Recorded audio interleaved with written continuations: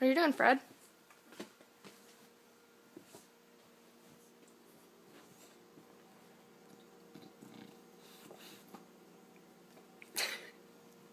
He saw you looking.